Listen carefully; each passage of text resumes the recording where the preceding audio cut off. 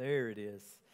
There it is. If you have your Bibles, um, Matthew chapter 5, uh, second week here of our Summer on the Mount series, um, where we'll be going through uh, the Sermon on the Mount.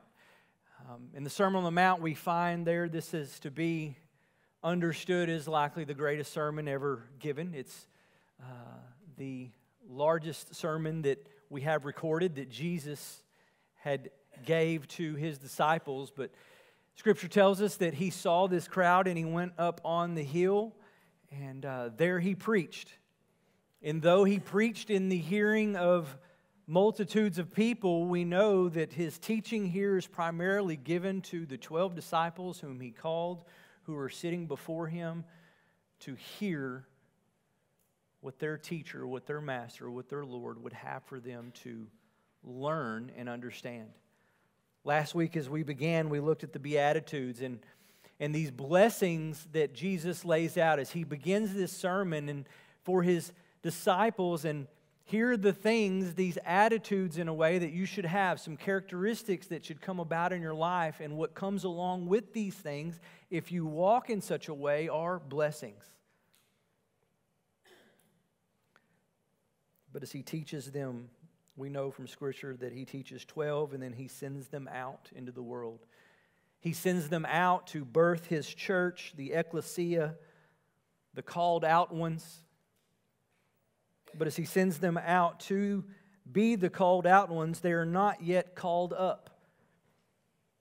For 2,000 years, as Jesus sent out his disciples after teaching them many things, they're called out of the world, but not caught up out of the world. They're still in the world. They're sent into, not out of. In John 17, verse 15, Jesus is praying for his disciples specifically, and by extension, all his disciples from that point forward through the course of time until eternity in the future. Jesus prays thus He says, I do not ask that you take them out of the world, but that you keep them from the evil one. Jesus teaches his disciples to go into the world and to be a difference maker in the world until the day comes, until he returns and calls us out of the world. But between that point then that he teaches and his word is given and the point in the future to which he calls us up, he sends us out into the world. After a trip to the barbershop, Woodrow Wilson, he once noted this. He said, I was sitting in a barber chair when I became aware that a powerful personality had entered the room. Said a man had come quietly in upon the same errand as I myself to have his hair cut and sat in the chair next to me. He said, Every word the man uttered, though it was not in the least didactic, showed a personal interest in the man who was serving him. And before I got through with what was being done to me, I was aware I had attended an evangelistic service because Mr. D.L. Moody was in that chair. It says, I purposefully lingered in the room after he had left and noted the singular effect that his visit had brought upon the barbershop. They talked in undertones. They did not know his name, but they knew something had elevated their thoughts, and I felt that I left that place as I should have left a place of worship. He notes going to the barber shop as just a normal errand that we all go through multiple, countless times throughout our life. But in this particular encounter, he sits next to someone in a chair and just listens and sees and hears the mark that that individual left on a room. So much so that he feels as if he's walking out of a place of worship. Dietrich Bonhoeffer notes in his, his book, The Cost of Discipleship, a simple fact. He says, Disciples and people, they belong together. Jesus Christ sends us out into the world to make a difference in the world wherever we are at. We all get our hair cut. Maybe not all of us, but most of us get our hair cut. But that's simply a place that we can go, make a difference, and be different in the midst of the world that needs to see difference. Again, John 17, verse 16 through 18, following what Jesus says. He said, I don't ask that you take them out of the world, but you protect them from the evil one. Here's what he says next as Jesus prays for his disciples. He says, They are not of the world, just as I'm not of the world. He says, Sanctify them in truth. Your word is truth. As you have sent me into the world, so I have sent them into the world. The blessings of the Beatitudes here give way to responsibility at what Jesus says next following those. So let's read together verse 13 through 16 of Matthew chapter 5. Here's what Jesus says following these blessings that we talked about last week. He says, Now you are the salt of the earth. He says, But if salt has lost its taste, how shall its saltiness be restored? It is no longer good for anything except to be thrown out and trampled under people's feet. He says, You are the light of the world. A city set on a hill cannot be hidden, nor do people light a lamp and put it under a basket, but on a stand, and it gives light to all in the house. In the same way, let your light shine before others, so that they may see your good works and give glory to your Father who is in heaven. So he lays out a responsibility following the blessing that he gives. Disciples, if you walk in these ways, if you are peacemakers, if you are merciful, if you're poor in spirit, if you're beggarly, if you understand your condition, if you understand your sin, your depravity, your absolute need for grace, and you mourn that sin, and if all these things are present, leading to a place of hungering for righteousness and thirsting after His righteousness, and then experiencing the persecution of the world and all the blessings that come with that, there is a responsibility that follows. He says, You are now, if this is the case, you are my disciple. You are the salts of the earth. You are the light of the world. Now, as he's speaking to his disciples, you here is plural. You is the whole body. You is the church. It's not one grain of salt, but it's the whole shaker. It's every bit of it. He says, You, it's plural, but you here is also emphatic. He says, You are it. There's no other salt of the earth, there's no other light that's going to come about later. You are it. God's church is it. We are his plan A, where there is no plan B. He says, You are it. And the word there, um, the word are, there stresses being rather than doing. Jesus is not giving his disciples here an imperative, he's not giving them a command. He's simply stating fact. He's saying, if you are my disciple, you now are salt of the earth. You are light of the world. And large responsibility follows those two illustrations for you and I to be salt and to be light. Let's look first at salt. He says, You are the salt of the earth. Now, today, salt, it only flavors our food. It's on just about every table, in every kitchen, in just about every house. We have salt, and we use it to flavor our food. Some like it more than others. If you know me, I love salt. Probably too much do I love salt at a Mexican food restaurant, I will often salt individual chips, but to go all there. But today, it, it flavors our food. That's pretty much the sole purpose of how we use salt is to bring about flavoring in our food. But in ancient times, it cannot be overstated the value to which salt had. Today, we flip this word in many ways to how Jesus uses it here and what it means for his disciples. We refer to it in an upside down way, and we call somebody salty to describe maybe an upset or angry or bitter mood that someone may have. Man, you're a little salty today. And we joke and we jest and we can use that, but how Jesus means this word is completely the opposite of being upset or bitter or moody. As I said in the first century and in ancient times, its value cannot be overstated. Roman soldiers were often paid with salt, and they, that brings rise to the say, saying that someone is not worth their salt. But it was used and it was a means of trading throughout those days because of its purpose and what salt could be used for. There's several things that we could look at here as far as its value. One, it was a mark of friendship in ancient times, where friends would gather together and they would eat salt together and they would commune together, and it was a mark of friendship. Even enemies that sat together, if they shared salt together, they had to act as if they were friends. That was the understanding. It was also used to bind covenants. Parties would eat salt together in an agreement, in a contract of sorts. You even see that in the law in Leviticus 2:13. It says, You shall season all of your grain offerings with salt. It says, You shall not let the salt of the covenant with your God be missing from your grain offering. With all your offerings, you shall offer salt. You begin to see the importance and the value of it. There's something inherent in this mineral, in this element, that is important, that, that binds things together. Now, there are several range, there's a range of suggested purposes here that Jesus may use to illustrate his point. And I want to talk about some that you find then. As I said, today we mainly use salt to flavor our food, and the same thing would exist back then. Salt still had flavor, though it was used for other things.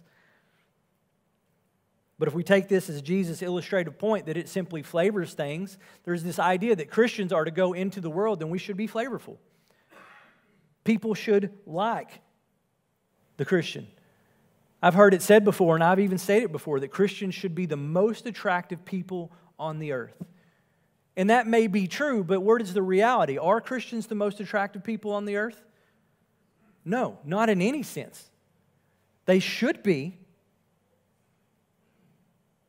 but oftentimes not. In one sense, if we're not being salty in the biblical sense, then we're not going to be attractive, which we're all prone to do. But even if we are the most salty we can be in this truest sense, the world is not going to like us.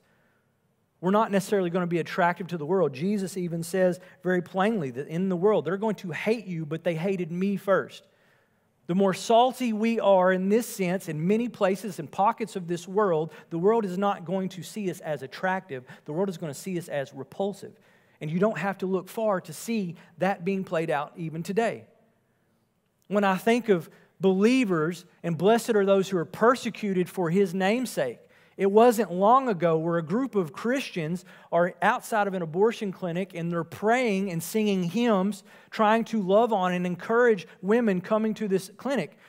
And they find themselves then to be arrested. They find themselves to be in violation of the law. They find themselves to be in court. They find themselves to be convicted of violating some act that Congress passed in the 1990s.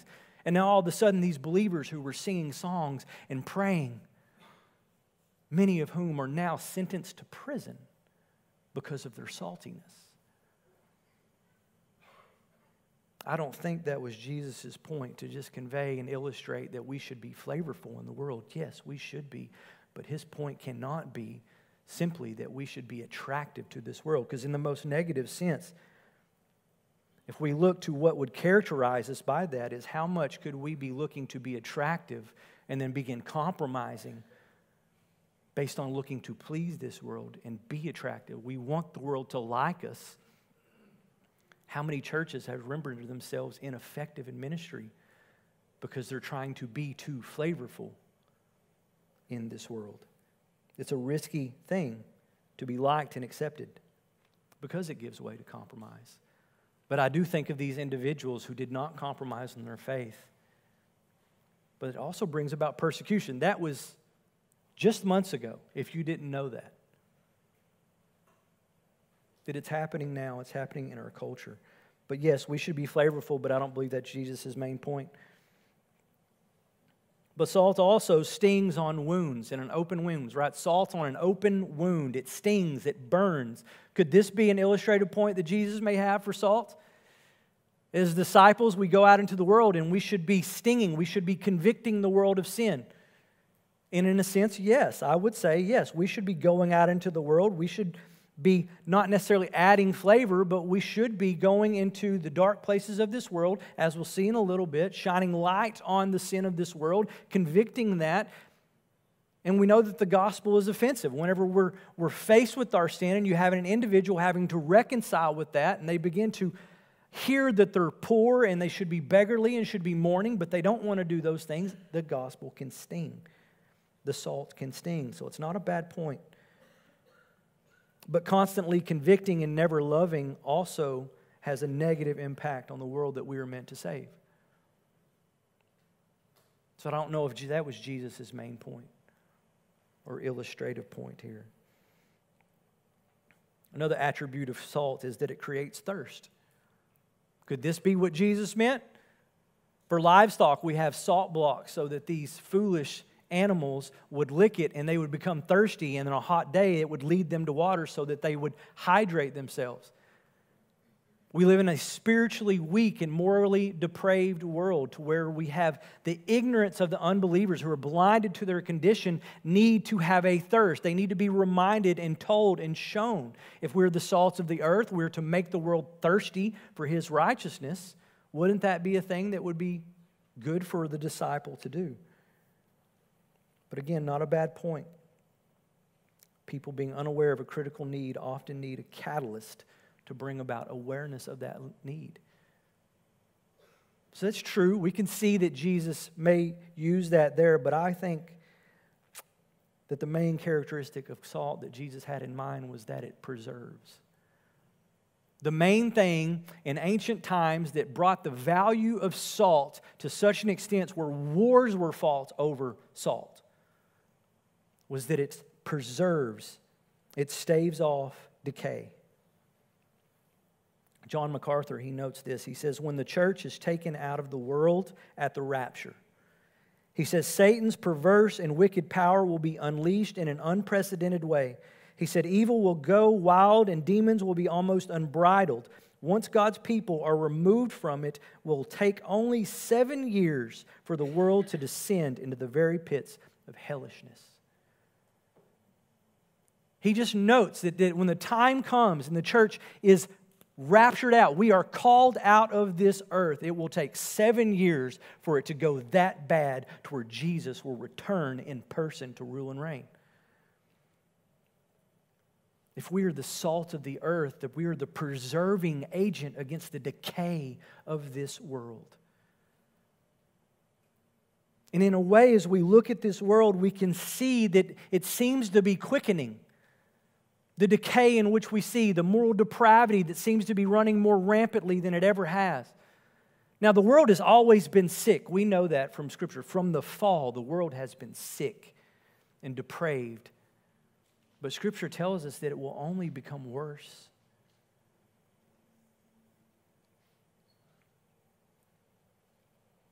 But for now, we are here. The church is here. We're sent into the world. We're empowered by His Spirit. We're to be the fruit of the Spirit, to not hold back those things, but as we live out the fruit of His Spirit, it does hold back the moral and spiritual decay of this fallen world. That is a responsibility that we've been given as salt of the earth. But sadly, as we look at the rate of decay, I think it's important to point out this strong admonition that Jesus gives us in verse 13. He tells us what we are emphatically, a statement of fact, it's a point of being that we are the salt of the earth. But then he gives this admonition. He says, But if salt has lost its taste, how shall its saltiness be restored? He says, It is no longer good for anything except to be thrown out and trampled under people's feet. So if, if, if salt has lost its tastiness, its flavor, it can't be, you don't salt salt. Once the flavor is gone, it's gone. But now, chemically, pure salt cannot lose its flavor. But now, Jesus is not giving his disciples a chemistry lesson.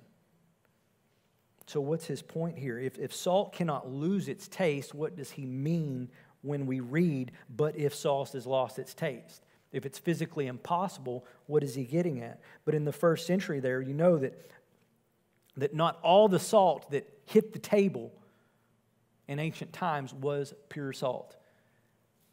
In the region of Palestine, you had the Dead Sea where everything flowed downward to the Dead Sea and nothing came out of the Dead Sea. It was also known as the Salt Sea. But salt that would come out of the Dead Sea wasn't pure in that it, it would come with other minerals that would contaminate that salt. And whenever that contaminated salt got to someone's house, then it did lose its flavor. The salt was still there, the salt still had flavor in it, but all the other contaminating minerals would dilute the flavor of that salt. So when it was found in a household to be that impure, it was just simply tossed out. If it hit the salt shaker or whatever it may be in someone's house and it was diluted and contaminated in such a way to where it didn't even taste good, that salt was gathered up and it was tossed out. But it's interesting, too, that as you think about that and what they would do is they would toss out this impure salt that was tasteless and bad. They would make sure not to toss it where grass would grow or where crops would grow because it would set in there and then it would rob the soil and it would dilute the soil and you wouldn't have good crop because you see what bad salt begins to do. It prohibits growth. So what would they do with this bad salt? They would throw it out into the road were over time trampled under people's feet as people come and go. It would make sure on that roadbed nothing grew. And eventually just slide into the dust under people's feet.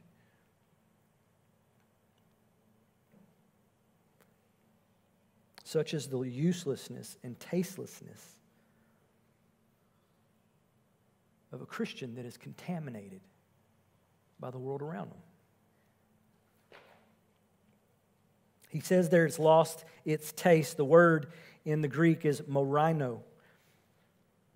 And It doesn't necessarily mean taste. It can mean taste, but it also means more times than not, as it's used in the New Testament, it means to be foolish or to act foolishly. Foolish is the Christian who's lost his flavor, who has been contaminated by the world around it, a trait that Christians in this world, the world over, are capable of displaying. Paul notes as much about himself in Romans chapter 7, verse 18 through 20. I want to read this for you. He says this He says, For I know that nothing good dwells in me that is in my flesh. He says, For I have the desire to do what is right, but not the ability to carry it out. For I do not do the good I want, but the evil I do not want is what I keep on doing. He says, Now if I do what I do not want, it is no longer I who do it, but sin that dwells within me. This is the Apostle Paul, a regenerate man saved by grace, but understanding he still lives in this body of death, this flesh. And he understands that he is a moment of weakness of character and poor decision away from being worthless and useless in the kingdom, to becoming foolish But Paul notes, he says, but, but wretched man that I am, who will deliver me from this body of death? He says, Thanks be to God in Jesus Christ. He understands where his salvation comes from. He understands that his salvation is, is secure, but he understands the foolishness to which he could trip and fall into if he's not pursuing the Lord in the way that he should. Such as he tells the Galatian church is that if you walk by the Spirit, you will not gratify the desires of the flesh. The desires of the flesh and the Spirit are, are bouncing and opposed to one another. They do not mix. There's a contamination that can happen when we walk in the flesh, we render ourselves useless in God's kingdom. And Jesus gives an admonition to his disciples don't fall into this place.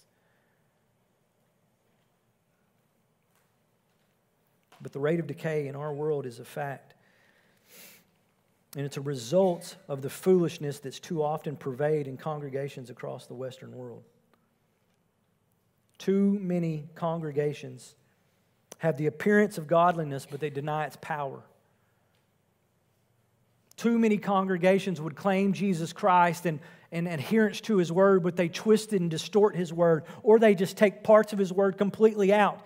That doesn't mean that anymore. The United Methodist Church is no longer united because foolishness pervade, pervade its leadership and its teaching, and they take God's word out of its context, or they rewrite it, or they say that this doesn't mean that anymore. And it causes decay because they've been contaminated and it becomes useless. No more salty than that salt that's taken from the Dead Sea. But we should reflect on our own hearts and our own work and, and to determine our own saltiness. We should look inwardly at who we are and what we were doing in terms of being the salt of the earth. Are we contaminated by other minerals? Or at worst, are we the other minerals bringing about the contamination, causing things to be tossed out? It is possible to come and to share and to be a part. Jesus said as much. It says, One day they're going to come to me and they're going to say, Lord, Lord, did I not do all these things in your name? And Jesus will say, Away from me, you workers of lawlessness, for I never knew you.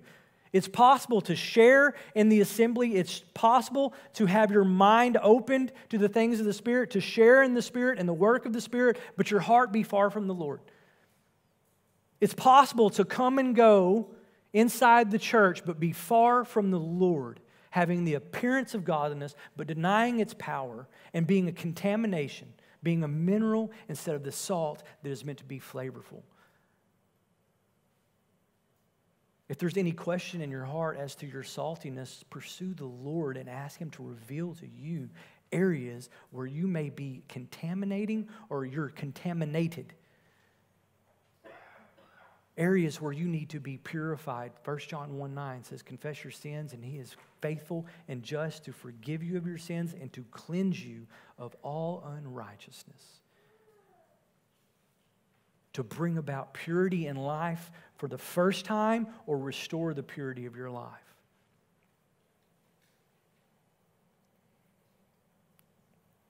Because great is the responsibility to be the salt of the earth.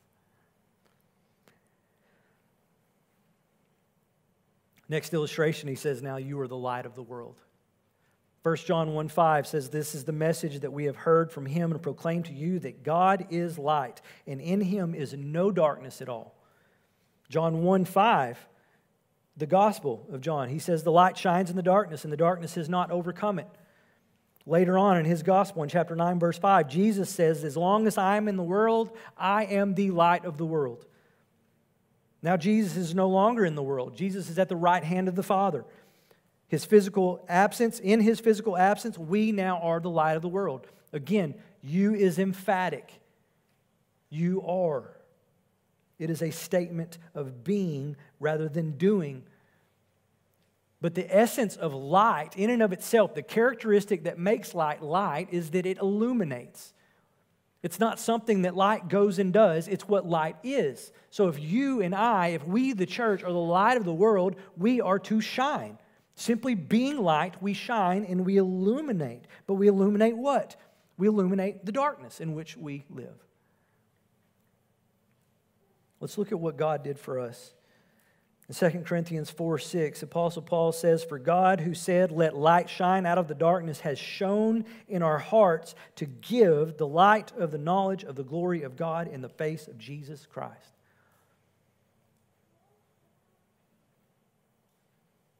For God, who said, Let light shine out of darkness, has shone in your heart. Believer, Christian, God said, Let light shine in your hearts to give the light of the knowledge of the glory of God. There is a moment for every believer when the eyes of our heart are opened, we are illuminated to behold God's glory, that we begin to see that glory. And there's no other proper response to seeing that glory, having it illuminated upon our heart, but to respond in humble submission to that light. Not everyone does it. There are those that re- reject that thing, but for the genuine believer, when we behold the glory of God and the, we have the response to see our own wickedness, our own depravity, that we've walked in and we respond to Jesus who called us out of that darkness and into his marvelous light. Humbly submitting to him, his leadership for his salvation, and walking away from the darkness in which we once walked. To bask in the light of his grace. That's what God has done for you and I. And in so doing, we become not lights in the world, but we become the light of the world. And there's a vast difference of being lights in the world. But no, as Jesus says, as long as I'm in the world, I'm the light of the world. And Jesus is gone from the world to be at the right hand of the Father, and he's now made us reflectors of his light, as if we are that light. Charles Spurgeon observes, he says this In his people, Christ still shines forth with even a brighter light than in the days of his earthly sojourn. He has 10,000 reflectors instead of 12. 10,000 times 10,000 tongues proclaim his gospel, and 10,000 times 10,000 hearts burn and blaze with the light of the divine word. And it is the word, according to Psalm 119, 105, that, that is a lamp unto the feet and a light unto our path. As reflectors of that true light, we walk by it, we should live by it, and we illuminate the way for those that do not. That is the purpose. That is how we are the light and the function of light. As we illuminate the way for those that walk in darkness, not knowing where they're going. John 12, 35. Who grope in the dark without light. Job 12, 25. Who going about in deep darkness don't know over what they stumble. Proverbs 4, 19. This world exists in darkness apart from Jesus Christ and it stumbles around, not knowing what it's falling over. It's groping. You ever been, you ever wake up in the middle of the night and there's no moon coming through the windows at all? It's pitch black. Maybe the power goes out as recently. There's no clock on a stove or on the microwave that illuminates anything. And you wake up and it's dark and it's even your own house. You know where things are at, but you might still be a little asleep and you start feeling around. we can all relate to that feeling of being in utter darkness, feeling around, trying to find where are we going. That's the state of those that are lost in this world. They're spiritually wandering around in the dark, not knowing where to go, but they feel secure in some wicked way because the ignorance that is in them. But Jesus Christ says, You are the light of the world to illuminate their path, to point them. He says, We are. We're a city. He says, A city on a hill cannot be hidden. It just shines, it's just there. We make the way clear. In the daytime, the city is on the hill. You can't miss it. In the nighttime, the lights shine and illuminate that city. You can't miss it. It cannot be hidden. However, just like there's an admonition for the saltiness that's lost its taste, that is contaminated by the mineral in which it was pulled from. But he says, A city on a hill cannot be hidden. But then in verse 15, he says, Nor do people light a lamp and put it under a basket, but on a stand, and it gives light to all that's in the house. He says, That's what we don't do. We should not do that, but people do. The warning there is do not be one that would light a lamp and put her under a basket. How foolish, again, is that? Like salt that's lost its tastiness. It's a foolish thing to light something and put it under a basket. What, what is the purpose of doing that? But nonetheless, under that basket, the light is still shining. Just the rays of its light are hindered. He says, in the same way, he says, let your light shine before others now so that they may see your good works and give glory to your Father who is in heaven. Here is the purpose. Jesus Christ died on the cross to pay the penalty of your sin. The church is the ecclesia. We're the called out ones. Jesus could have called us out and called us up. Just, just like that, to be with Him. What a wonderful thing that would have been.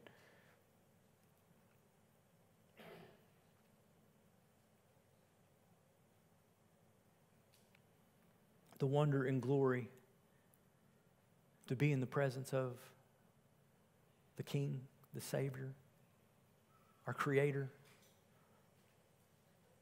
Church, I can't wait to be called up. I don't know about you, but I cannot wait to be called up. But until then, we're called out.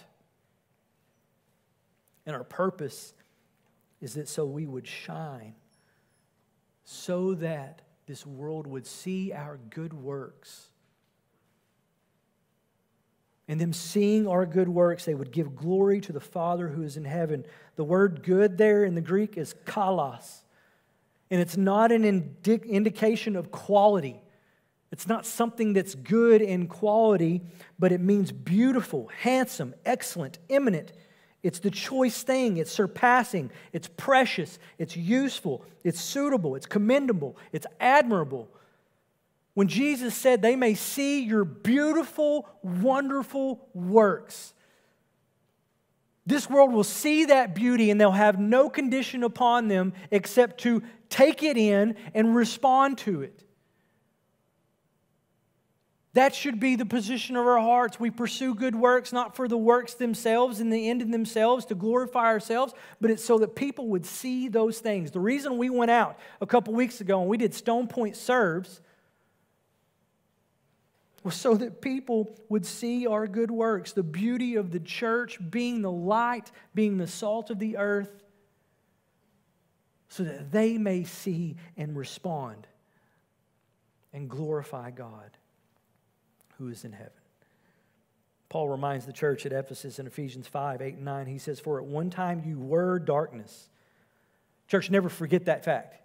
As we look at this world that's walking in darkness, we look at the sin of this world, the depravity of this world, and we want to start pointing fingers. As Brandon talked about last week, we want to start shunning people. We want, I'll love you from a distance. We want, want to get away from it all.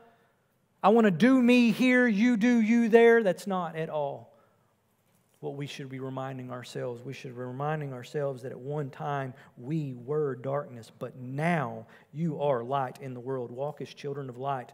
He says, For the fruit of light is found in all that is good, right, and true. The fruit of light that Paul speaks of is the good works that Jesus speaks of. It is that which shines on the hill. Church, it cannot be denied, it cannot go unnoticed if it's allowed to shine, but it can be rejected, for which you and I are not responsible. All we are responsible for is shining. And if we're doing that in purity, if we're truly salty, the world takes notice, but whether or not they accept it or reject it is upon them, and that's not our responsibility. Our responsibility is to be what Jesus says we are. But sadly, in too many places, the church is not, and the decay is quickening. But that does not mean that we just let it go until we are called up, we're sent into the world to be these things. Our responsibility is to be salt and to be light. Not from the earth, but in the world and strictly for it. What a grand responsibility we have to not take lightly, but to pursue prayerfully and seek the Lord on areas of our life that need to be shored up, areas that need to be cleaned up, areas that need to be purified, so that we can confidently sit in a barber's chair to get our hair trimmed and be engaging a world just by the pure nature of our character that someone sitting there may see, hear, and think differently about this world. I love that quote because Woodrow Wilson did not say that he even spoke to D.L. Moody. D.L. Moody didn't speak to him, but he saw the life that was being laid out the salt and the light. And it moved him, and however it moved him. I promise you, church, you'll never engage, you'll never have a gospel conversation if you're not living according to the gospel. If you want to be left alone, Be salty as the world defines it. Put a basket over your head. But the responsibility is clear, and I pray that we learn to walk in that in better ways, and that's even for my own heart. Let me pray for us. Lord, I thank you for this morning and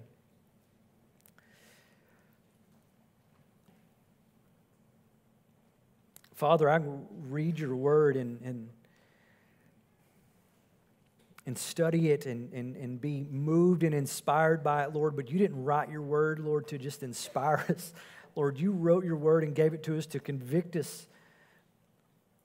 Convict us of our sin that we would humbly come to you, Lord, and allow you to change us, to mold us into your image.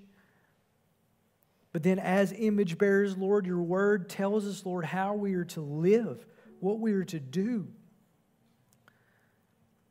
And this world tells us otherwise in several different ways, Lord. The enemy is so crafty at twisting even your word to use it against us, Lord. And in our foolishness, Lord, we fall prey But Father, I ask that you teach us, Lord. That you would place deep within your people. Here at Stonepoint Church, Stonepoint Church in Edgewood, Stonepoint Church in Wills Point, Lord, I pray and ask that you settle the hearts of your people right here to seek your face, to seek a deeper understanding of what it means to be salt of the earth, to mean what it means to be the light of the world, Lord. What does it mean for us? Not the individual in the room, Lord. I pray that we would seek your face, Lord, on what it means for us as a body. That we would lock arms together, Lord, that we wouldn't wait any longer to gather together and to go and do we wouldn't feel as if we have to isolate ourselves or we have to do something that someone isn't. Lord, would you move us to lock arms together as a body, unified according to your purpose to accomplish your ends on this earth?